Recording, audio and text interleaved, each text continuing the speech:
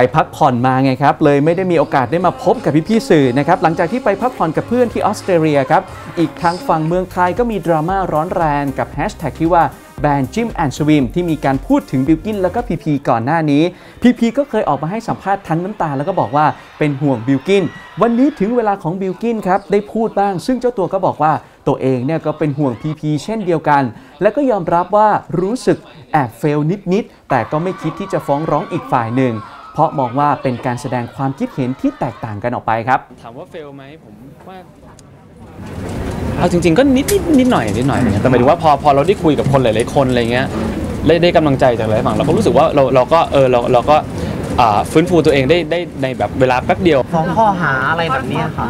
คงรุนแรงมากเลยคงคงคงไม่ไม่ไม่ไม่ได้ฟ้องอะไรเงี้ยเพราะผมรู้สึกว่ามันเขาเขาก็ แชร์ดิจูดของเขาพี่พีเขาเป็นห่วงสภาพจิตใจเรามากเลยนะตอนที่ที่ไปเที่ยวอะไรเงี้ยใช่ครับจริงๆผมผมก็ค่อนข้าง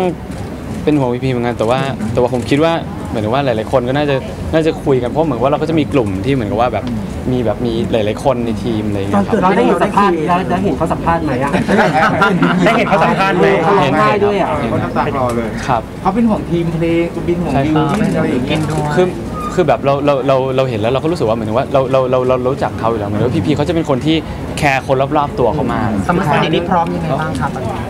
ก็ก็เตรียมเตรียมความพร้อมอยู่เหมือนกันครับ ตอนนี้ก็จริง ๆ วางวางโชว์เสร็จแล้ววางโชว์เสร็จแล้ว แล้วก็กำลังเซตอัพอะไรทุกอย่างมันก็จะมีรายละเอียดมากๆพอพอวันนี้ที่เราอะออกมาเปิดบริษัททำเองมันเหมือนกับว่างานเนี้ยเราเรารับเข้ามาทำเองกับทีมอะไรเงี้ยเราก็ก็ก็โอ้โหรายละเอียดมันเยอะมาก เครียดไหมครับคนคาดหวังมากเลยกับโชว์ครั้งนี้ก็จริงๆก็ก็ก็กดดันเหมือนกันนะหมายถึงว่าทุกทุกทุกครั้งอะไรเงี้ยทุกครั้งที่แบบได้ได้ได้ได้มีโอกาสใหม่ ๆสำหรับตัวเองแล้วพอเป็นโอกาสที่ใหญ่อะไรเงี้ยก็ก็รู้สึกกดดันกดดันมากเหมือนกันนะ